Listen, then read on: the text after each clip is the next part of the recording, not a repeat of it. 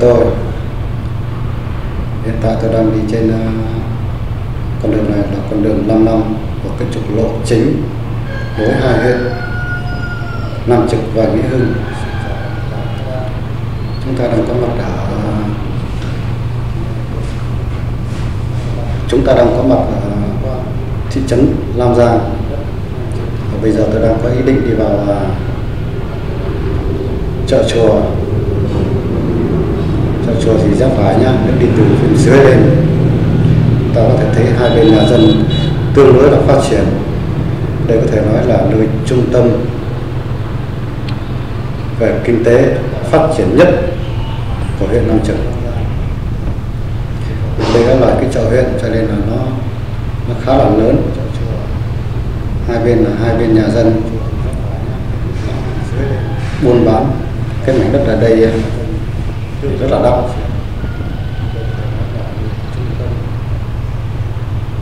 chúng ta sắp đi tới à, chợ chùa rồi.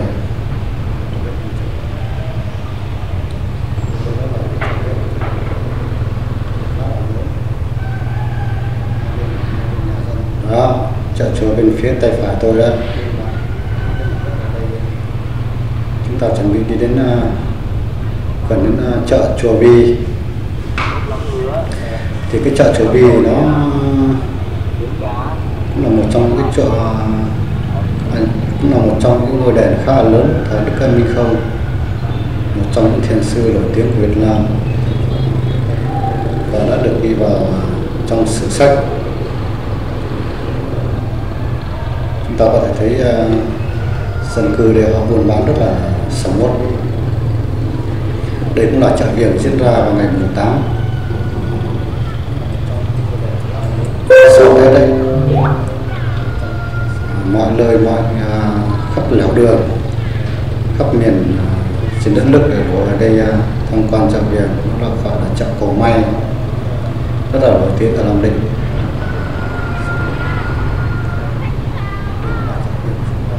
Tôi đang đi ra chỗ gần chỗ thôn nhất là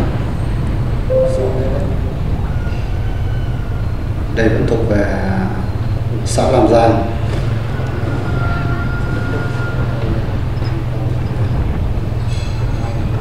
Tôi sẽ có ý định à, đi lên à, những khu vực như là ngoài Lam Hồng Lam Hồng Lam Quang Lam Điển, Lam Xá.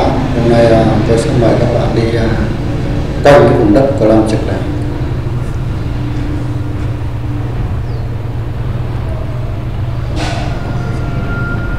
Chúng ta đang ra khỏi chỗ khu sống mất, bắt đầu đi vào những cái vùng những cái vùng không không không được phát triển cho lắm của mảnh đất Lam Trực. Con đường ta đi là trên là con đường vàng nối con đường à, 5 năm với con đường 21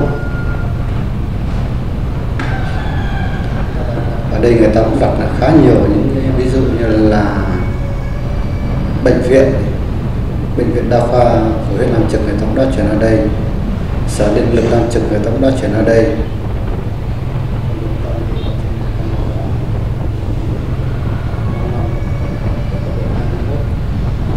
Khi mà chúng ta ra đây, chúng ta thấy cái mật độ xe máy đi lại cũng khá là ít. Nó không còn đông như ở khu trung tâm nữa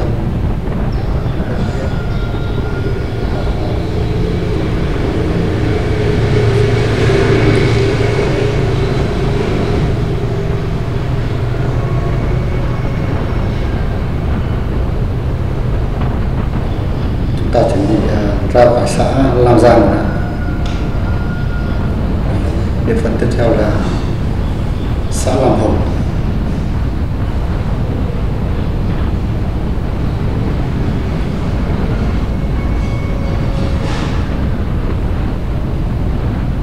Con đường này xưa cũng sâu lắm nhưng mà từ khi cái chương trình nông thôn mới đấy những con đường này đã được làm làm lại rất là đẹp nắng nụ tiêu nói chung tốt hơn xưa rất nhiều.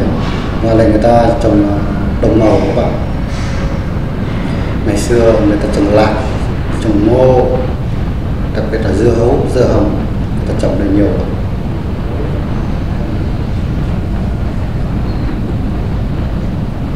Những khu đồng hồ này thì người ta làm quanh năm, đất gọi không nghỉ. Đất ở đây đa số toàn là đất cát tôi nhớ ngày xưa tôi còn học cấp à, ba. Tôi có đi học ở ngoài theo ngoài cổ lễ thì tôi cũng đi cái đường này. Về khá là tối. Thì tôi thấy là con đường này, người ta trồng trồng trồng trồng dưa hấu nhiều lắm. Dưa hấu lạc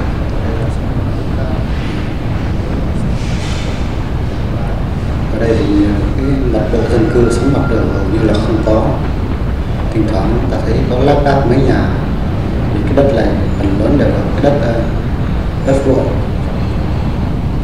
chứ không phải là đất thổ cư.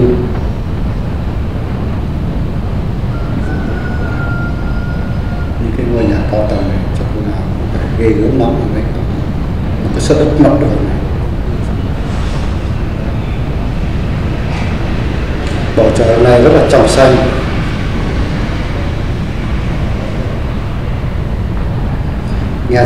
Tiết thì thời tiết năm nay à, hôm nay lên tới 31 độ. Bây giờ đã là tầm à, 9 giờ 9 giờ sáng.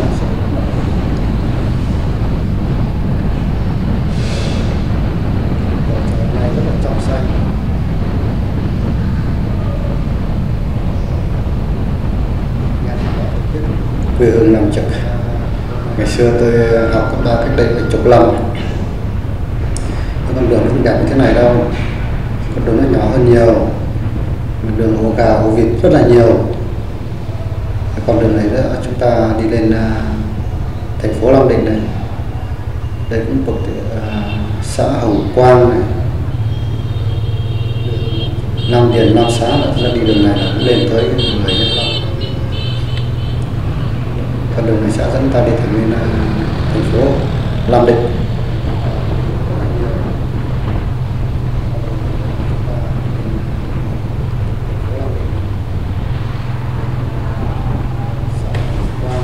thì có một chút ờ, chỗ này có một đoạn thì nhà dân sống ở mặt đường. Rất là phát triển.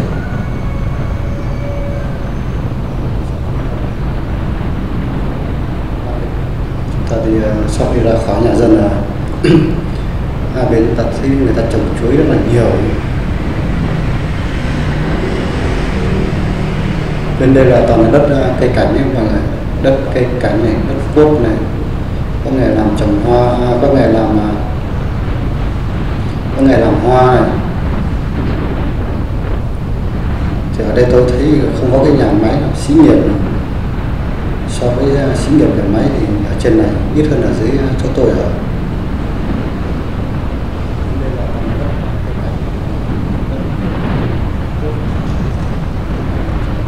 Bầu trời, này rất là đẹp. Quang cảnh quê hương tôi, huyện Nam Trực trong những vùng đất rất là giàu truyền thống văn hóa hiếu học.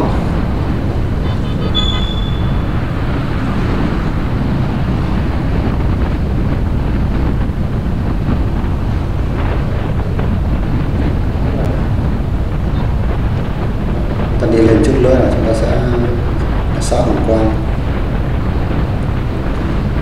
Cầu vòi thịt chó ở đây cũng có mọi người đây cũng chính là con đường cầu vòi nó sẽ, ờ, dẫn thẳng chúng ta xuống ờ, nó đi ngược lại là nó sẽ dẫn thẳng chúng ta xuống ờ, cái địa bàn là hải hậu này giao thủy này.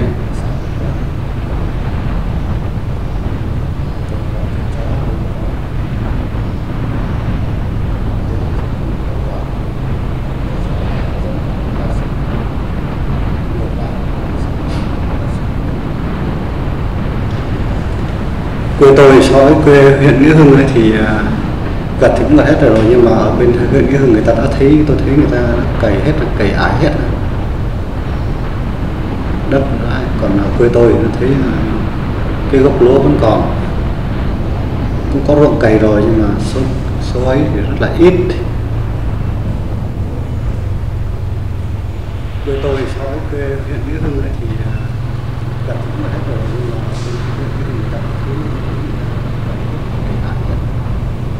đây là con đường phụ thôi chứ mà con đường phụ thôi chứ không phải là đường chính. Đường chính nếu vào lòng bên tay phải nó là đường 21 nó dẫn xuống các huyện như là huyện Hải Hậu huyện Giao Thủy huyện Xuân Trường.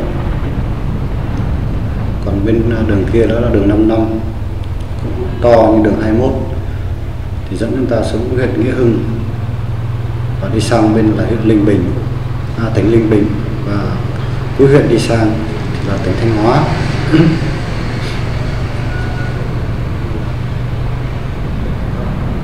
nói chung đường xá nông thôn của chúng tôi là khá là đẹp. Mặt đường rất là trơn láng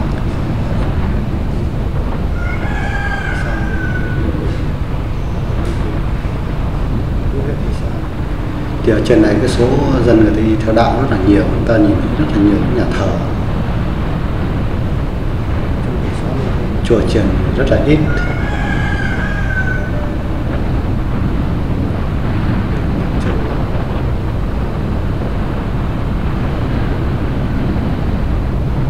Ở đây đa số người dân người ta làm những cái cái làng nghề. Như ở cầu vòi hồng quang này, có cái nghề làm hoa. Trên nữa làm điền làm xá, có cái nghề trồng cây cảnh, quất cảnh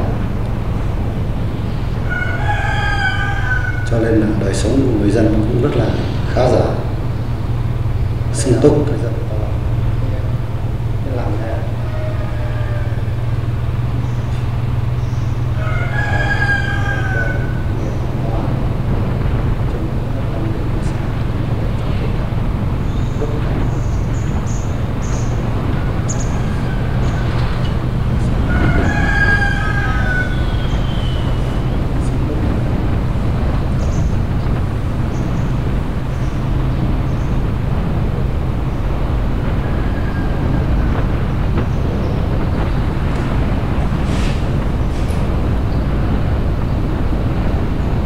Đây các bạn có cái cạnh hai bên đường toàn là những cây cao, cái cổ thụ. Người ta bán cho những các công ty nhà máy hoặc là các cơ quan nhà nước. Cái cảnh bây giờ nó cũng không phải đấy bên tay trái rồi các bạn có thể nhìn thấy. Người ta cắt tỉa hết các cành người ta ươm lại. Đây là nòng gỗ này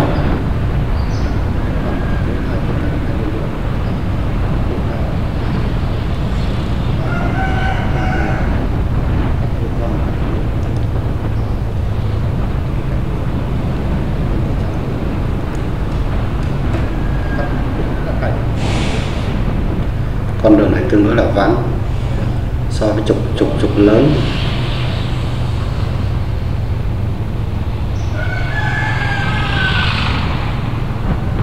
Đây là cái chợ Hồng Quang, chợ này mới có 9 giờ mà đã không còn người. Còn một cái hàng nó bán rau bán hoa quả.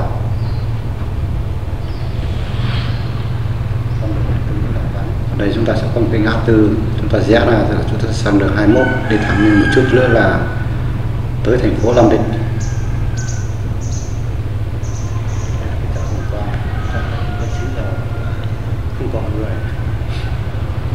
Chúng ta sẽ rẽ phải và chúng ta đi xuống một chút nha, rồi chúng ta sẽ đi vòng lên.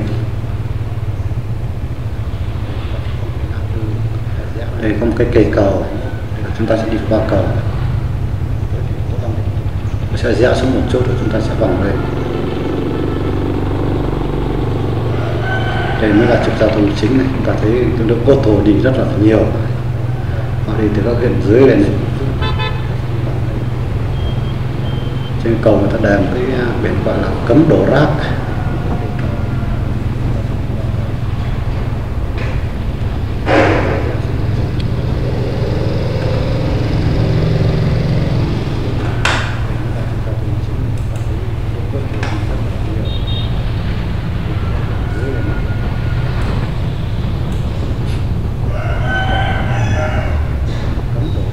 Đất có cây cảnh, đất điển xá, đất điển xá, đất làm điển. Này trồng cây cảnh trồng hoa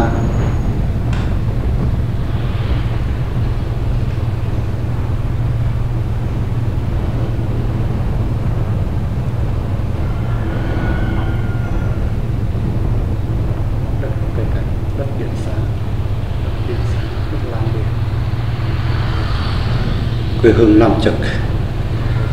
Quê hương Nam Trực yêu dấu. Cái bộ mặt nông thôn bây giờ nó cũng phát triển và thay đổi khá là nhiều so với ngày xưa. Ngày xưa những con đường này rất là xấu. Nhưng bây giờ nó đẹp lắm rồi. Thôi, video này mình sẽ tạm dừng ở đây. Hẹn gặp lại các bạn trong những video tiếp theo nhé mình sẽ đi lên và mình sẽ làm cái video thứ hai nữa. Hãy nhớ ấn nút subscribe và hãy để lại những cái dòng tin nhắn của mình để mình càng ngày càng hoàn thiện cái video của mình nha. Cảm ơn các bạn đã theo dõi video. Video này mình sẽ tạm dừng ở đây. Hẹn gặp lại các bạn trong những video tiếp theo nhé Cảm ơn các bạn đã theo dõi. Các bạn hãy bấm like, comment và hãy bấm nút đăng ký để ủng hộ cho kênh mình nha.